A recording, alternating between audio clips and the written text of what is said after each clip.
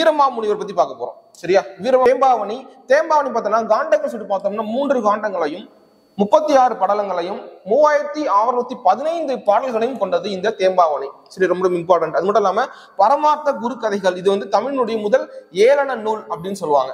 ஓகேவா நெக்ஸ்ட் இவருடைய எழுச்சிய சிற்றிலக்கியங்கள் சொல்லி பார்க்கலாம். சிற்றிலக்கியங்கள் திருக்காவலூர் கலம்பகம் அடைக்கல நாயகி அம்மானை கேத்தகிரியம் அம்மன் அம்மானை.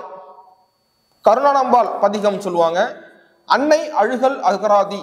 சரியா? அண்ணல் அழுகல் அகர- அகராதின்னு சொல்லுவாங்க. ஸோ இதெல்லாம் அவருடைய சிற்றிலக்கியங்கள் சொல்லிட்டு வகைகளை வருகிறது. சரியா? நெக்ஸ்ட் இவருடைய உரைநடை நூல்கள் சொல்லிட்டு பார்க்கலாம். இவருடைய உரைநடை நூல்கள் வேதியர் ஒழுக்கம் வேத விளக்கம். ரொம்ப ரொம்ப இம்பார்ட்டன்ட் தமிழ்ல அதிகமாக ரிப்பீட் பண்ணக்கூடிய வினாக்கள். நெக்ஸ்ட் பார்த்தா இவர் அகராதின்னு சொல்லிட்டு பார்த்தோம் அப்படின்னா தமிழ் டு லத்தீன் தமிழை லத்தீன்ல வந்து